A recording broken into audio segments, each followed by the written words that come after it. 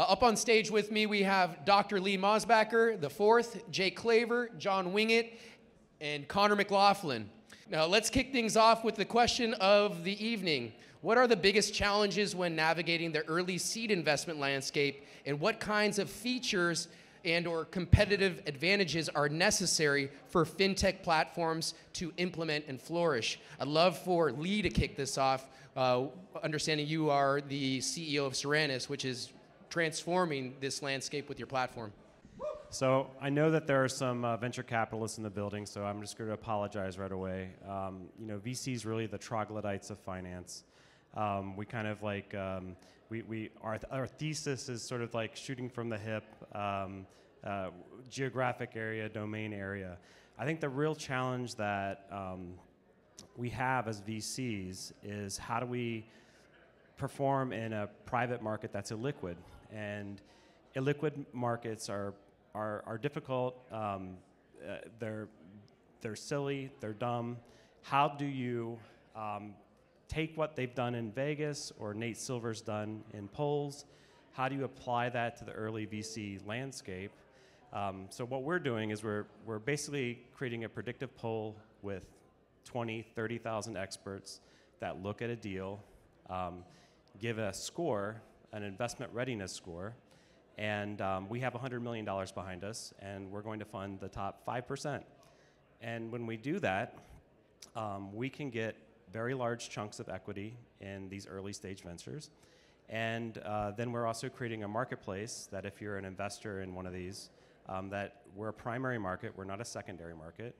Um, you can buy and sell your position, and you can start applying other areas of finance to venture capital, uh, namely the ability to rebalance your portfolio based on whatever uh, hype cycle is coming out of the Bay Area. And then you can also um, uh, from that, you can start compounding your liquidity multiples over a 10 year cycle, two to three, maybe four times over a 10 year cycle. And what that does is it now lo- allows you to perform like a one percentile fund um, with never hitting a unicorn, never hitting a decacorn, just being average on what Carta would be.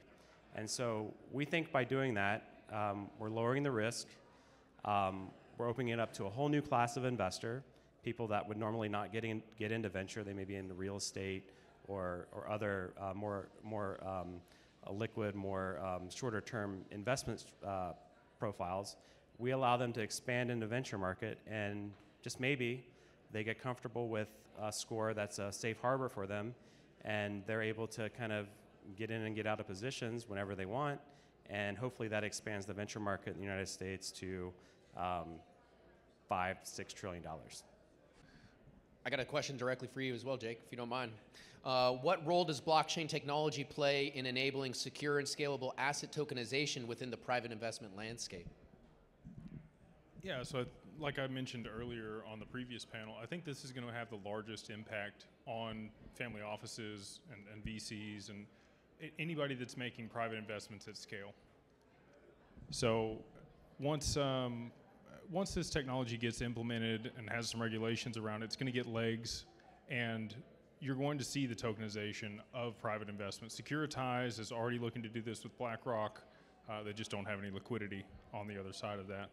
So you, you have to find buyers. You, you need to become a market maker, right? Uh, a lot of the investment banks have strategic alignment with certain blockchains. Uh, and I think that that's probably where a lot of these private investments and other asset classes will end up being tokenized. Um, but to Lee's point, you, you want to be able to turn your capital more frequently. You don't want to be locked into positions.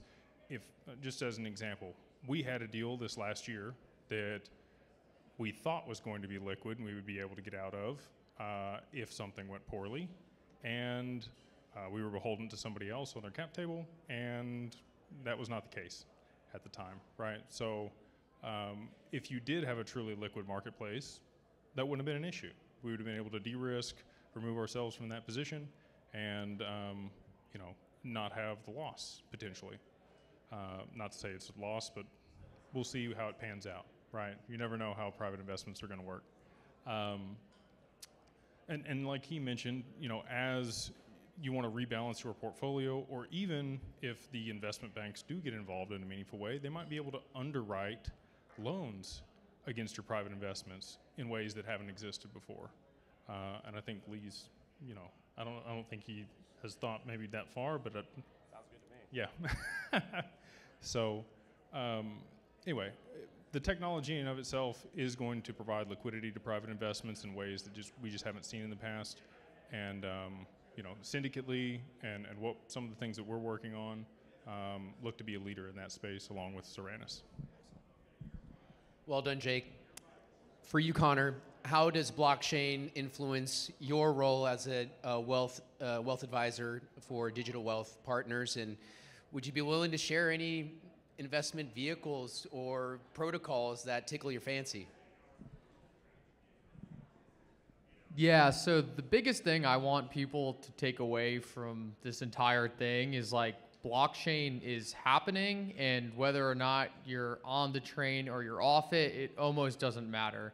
The fact that you can't move money instantaneously anywhere in the entire world right now is a massive issue, and blockchain technology solved this right now. So there is going to be a massive transformation in the way money moves from point A to point B, and we just want to make sure people are properly exposed to that movement of money.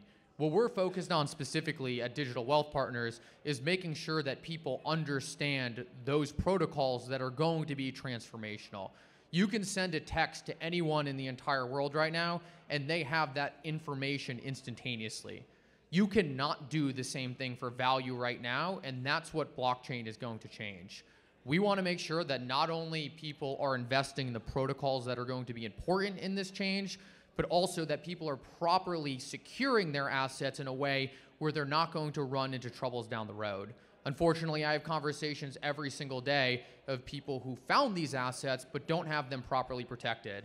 That's why I couldn't be more happy about us working with Anchorage, one of the few federally chartered banks in the United States who can hold crypto assets, and being able to work in tandem with them to make sure their assets are properly secured with the advice on top of that proper security on what assets are going to be transformational, I believe that is a very powerful combination. So I hope everyone at least takes away from this conference that this revolution in the monetary system and how money moves is happening. And we just want to make sure people are not only properly positioned for that change, but also properly securing their assets so when this change happens, they are benefiting from it and not in a situation where they wish they took these appropriate security measures beforehand. Well said, Connor. Give him a round of applause. Alrighty, I'm going to ask for a forward-looking statement from all of you, but before we shift to that, I've got one question specifically for you, John. How significant of a role do you see fintech companies or tech-enabled platforms like Bank Social playing in the financial lives of your everyday person? Well, they're they're huge. Uh, I don't know if you guys heard the news today, but or yesterday maybe it was, but the state of Louisiana is now taking Bitcoin and crypto as payment. So it's not coming; it's here. I was talking to the head of TCH, the clearinghouse. That's who's moved money around the United States since 1849, two years after Texas was established. And I asked him a simple question. I said, "Hey, if I want to move money to El Salvador, what's the fastest way for me to do that right now?" And he's like, uh, "I was like." let me answer the question. It's Bitcoin. You can't move it any faster than, and, and Bitcoin's slow, but you can't move it any faster than Bitcoin right now. So that's your answer. Um, you know, fintech is going to play a, a we, you know, embedded fintech is going to play a major role. And when I say embedded fintech, you know, the, the real idea here is that banks and institutions, financial institutions, are starting to understand that the way things are moving, they can't keep up you know, Chase with an $18 billion budget came up with uh, Onyx blockchain that can't keep up. You know, um, they can move massive tranches of institutional money on their own networks, but you don't need a blockchain for that, right? We're talking about all the rest of the money, and so because these financial institutions can't keep up, embedded finance is, is quickly becoming a, a, major thing. And when we talk about the ownership economy, embedded finance doesn't happen in Robinhood. Embedded finance doesn't happen in Cash App. That's a Web 2 paradigm of finance. What's going to start to happen is that the institutions will put people closer to the rails, closer to the off ramps, closer to the on ramps through embedded finance. So what we look at, we do have a, a small investment fund. We've kind of we've kind of got what we feel is a good formula for that, which is, you know, you have the you have the innovators. We try to get in as early as possible, typically pre-seed, seed. You have the early, you know, kind of the guy with the idea. They are rarely the guy who can who can take the idea and go places. So we pair them with, you know, ourselves and other kind of, uh, you know, accelerator type of uh, partners, but but we have one critical component that a lot of these other uh, uh, you know accelerators or funds don't have.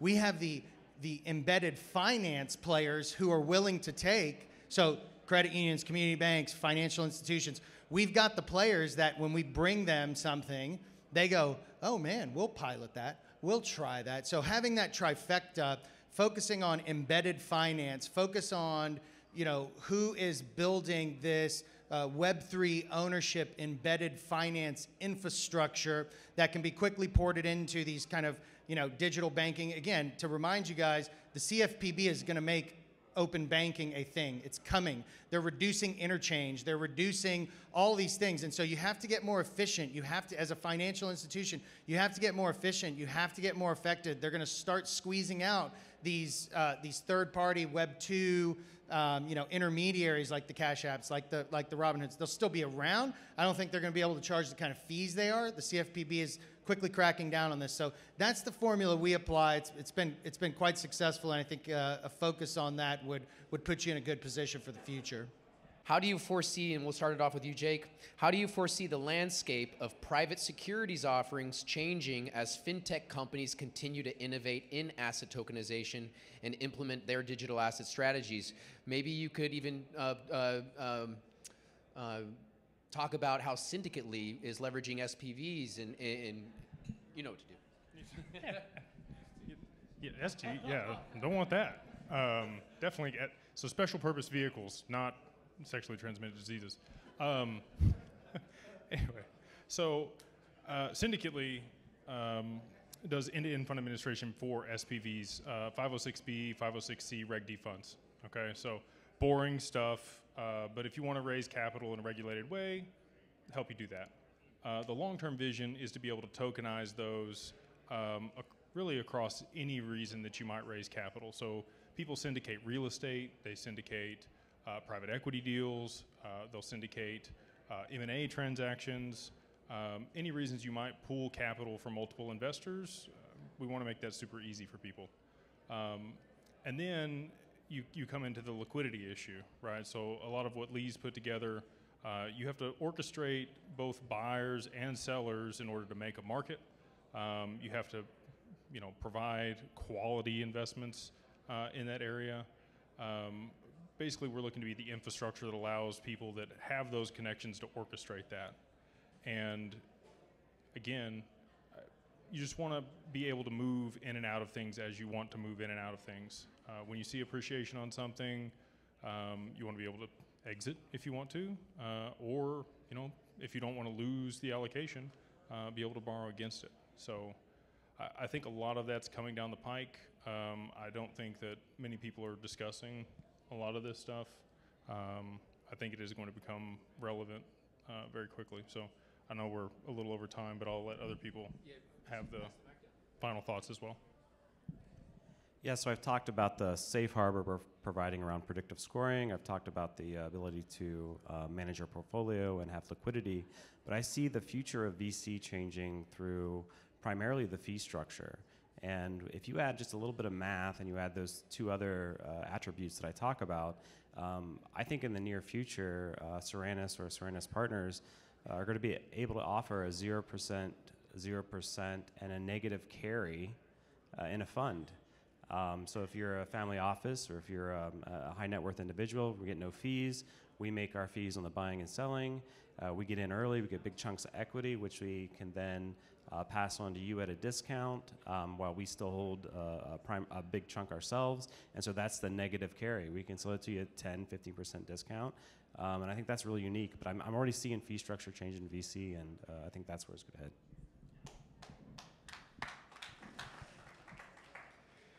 Yeah, so I want to go back to a point that John made. I think it's so important to understand. we are watching a complete replumbing of the way we move money, and that's not on the front end application that everyone logs into. That's beneath that front end application. Not too many people actually think about, hey, how does money move right now in the financial system? I don't think anyone's ever really thought about that. You log into your bank and you move money.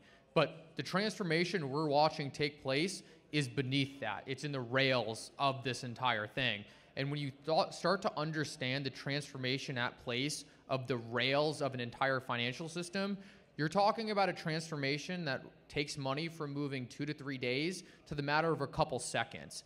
When you start to understand what that could do to a GDP of an entire nation or the entire world, you're watching the velocity of money increase exponentially with the transformation of a single technology being underpinned for that layer of transfer. So this change is happening. I think all of these fintech firms that you mentioned, Robinhood, are going to start utilizing this underlying technology. And I'll just go back to being able to invest in this transformation, being able to securely hold the assets associated with this transformation, and having an expertise associated with understanding what the winners are going to be, are going to be absolutely critical to benefiting from it. So there's a transformation happening, and I just want to make sure everyone leaves this conversation with the understanding that this transformation is investable, it's happening now, and the largest institutions, BlackRock, Citibank, are all implementing it. You want to get ahead of that. You want to make sure you do not miss out on this next wave. How do I follow that? Man, he took all, he took all my salient talking points. now I'm just playing. Um, he, he front run me. You front, you front. You guys know what front running is? That's what he just did. If you want a quick explanation of front running, he just did it. Now I'm just playing with you. That he, he's he's spot on. He's spot on. Um, you know, not much I can add to this other than you know, again, focusing on kind of the, the people that are or the, the companies that are um, not you know nobody really cares about the, the, what happens when they press the Uber button. They just want the car to show up and and pick them up, and they don't care how the money moves and all that kind of stuff. So focusing on people that I think there is some new experience that's left to be tapped out of kind of the front end. Um, and we're starting to see that. I think embedded finance is one of those evolutions of kind of a new experience, a new front end, uh, a different modality of a new front end. Uh, certainly, though, the vast majority of the innovation, when you look at why Yahoo failed, well, they failed for a lot of reasons. But you know, one of the major reasons they failed, you know, when, when Google came in, uh, they took advantage of big data. They took advantage of things that Yahoo just wasn't getting ahead of. And we're in that moment right now. The companies that, you know, uh, you know, I don't know if Robinhood will be around. I don't know if Cash App will be around. But I do know that the next wave of companies will be utilizing these underlying technologies heavily, right behind the scenes, just like Uber came through and kind of, you know, used the app, the app infrastructure and the, the way kind of you know devices could talk to to transform that. I think you know in this whole this whole idea of ownership to me that's got to be a paramount focus of these new these new kind of paradigm shift or the paradigm shift that's happening if if ownership because of what the governments are doing because of the mandates that are coming down the pike if ownership if decentralization if immutability if um, you know, kind of collusion resistance for these public ledgers is not available. That's what we look at when we evaluate these technologies. So